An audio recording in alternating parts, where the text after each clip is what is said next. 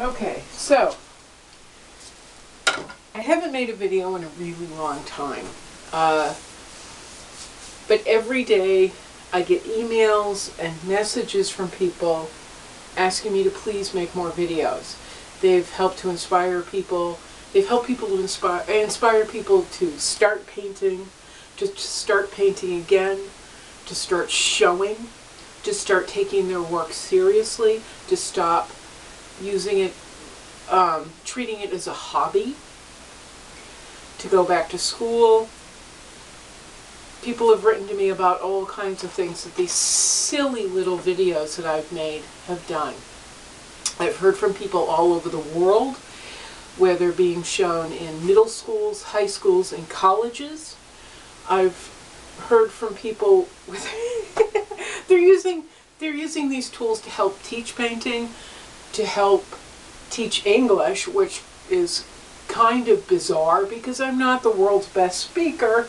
I just happen to kind of spit out words that are associated with some language.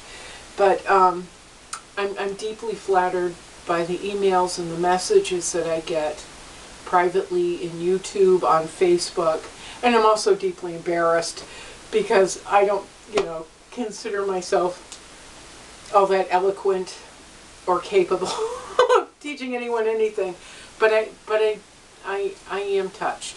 And uh, the messages that I get always come on the days when I'm feeling completely invisible, invisible, completely vulnerable, and completely alone. And I think everybody knows how that feels. But I'll have the I'll have a day like that where it's like why why do I just keep getting up? Why do I keep trying? And then I'll hear from someone. I'll hear from someone I never never would meet in my life who say, you know, your video helped me out of a funk. Your video helped me to become an artist. And that's, that's really kind of incredible. So here we are. We're going to try to make another video. And let me tell you what's happened since the last time I made one. The last time I made one, I was living in this really big mill, and I had a, a big loft, loft space, loft space, um, something very fancy and arty and very trendy. And now, uh, because of things you know, that I can't really talk about, I've moved out of there and I'm living in and working in a very tiny apartment. Very tiny. It's maybe 15, each room, there's three rooms and there may be 15 by 15. So it's much different than like the 1500 square foot uh, space I just moved out of or the 650 uh, square foot space I had as a studio before that. Um, you know, I've had many, many places to work. I worked in my house on Cape Cod, which was a tiny cottage. I lived in a standalone, um, uh, a standalone cinder block building with no windows. That was phenomenal and phenomenally cold, and then it filled with water, and we moved. Um, I've worked in different apartments. I've had I've had so many great adventures since I decided to give up what I knew. My life on Cape Cod, what I knew my whole life. I've lived in all kinds of crazy ass places. And because of that, and tried things I never would have tried before. Or had the courage to, I guess. Um, but from that, my artwork has evolved and evolved and evolved and evolved and evolved. And I'm not sure it matters, I'm not sure it really matters where I live or where I work.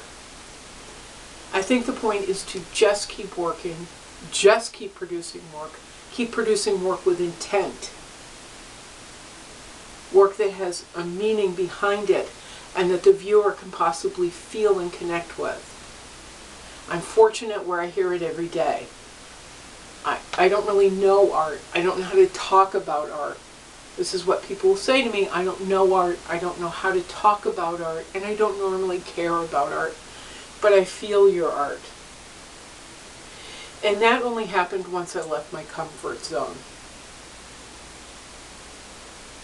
I never thought leaving home I would find, let me say, how do we put this? I never thought I'd find myself by leaving home. But I have, and I found myself in my artwork.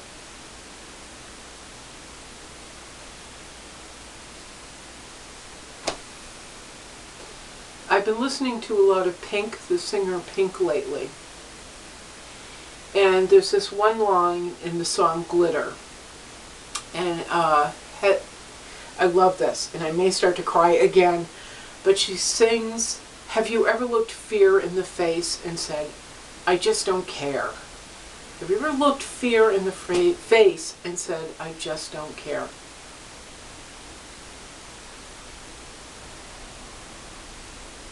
I don't care. I did the, made the biggest change possible. I left the place where I was born, I grew up, where my family had lived since the pilgrims, and our little Wampanoag roots started growing our family tree there. I left. It was the thing I was most afraid of. And now I'm painting images with intent that I didn't know I had. I'm using colors I didn't know I could use. I'm meeting all kinds of really inventive artists. I'm talking to people from around the world. People I will never meet, but people I never would have connected with. And none of it would have happened if I had stayed at home, where it was safe. And this kind of comes up because I got an email, or I got a message on Facebook from someone the other day, who, one woman who is now having her work photographed, we talked about it endlessly. She's a wonderful painter. Um, but she's been showing at like craft shows. So my suggestion was, I didn't know that. I figured she was in galleries. She's phenomenal. So now she's going to start applying to galleries. She's had her work photographed by a professional artist, and she's going to start applying. And I'm really glad I got to, I inspired her to do that. Someone inspired me to do it. I'm glad I could inspire her. She was afraid to do it. She's no longer afraid. She's looked at fear and said, I don't care.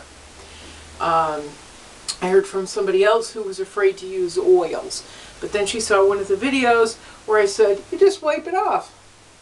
There we go.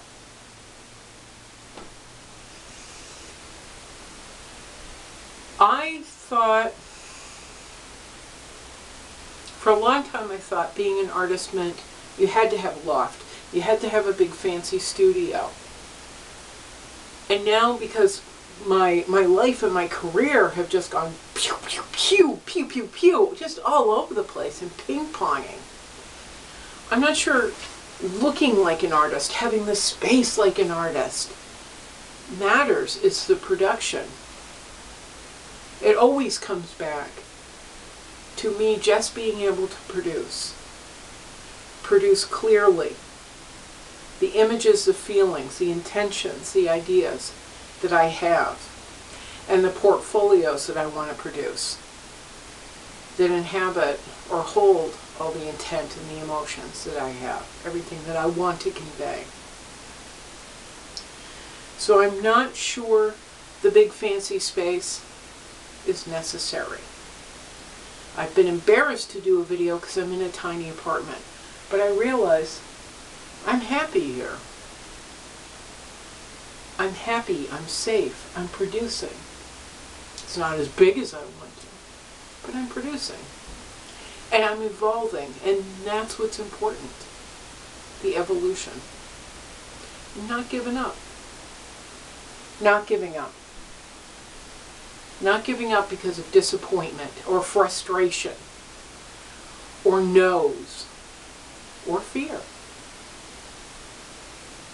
All right, I think my tea water is boiling, so I'm going to go make some tea and get back to work and think about the next video I'm going to make. Because I don't want to give up. And I want to keep encouraging other artists the way people have encouraged me. Ciao.